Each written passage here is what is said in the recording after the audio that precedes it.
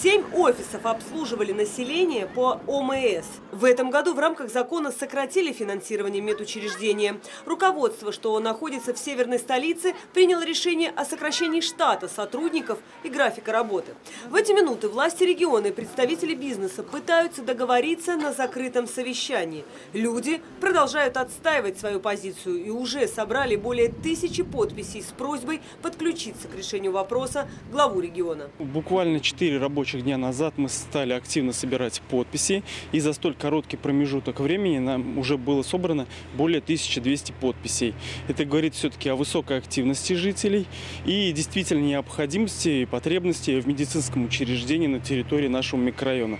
Хотелось бы поблагодарить и сказать всем большое спасибо за такую активность. И надеемся, конечно, что на лучшее и губернаторы отреагируют.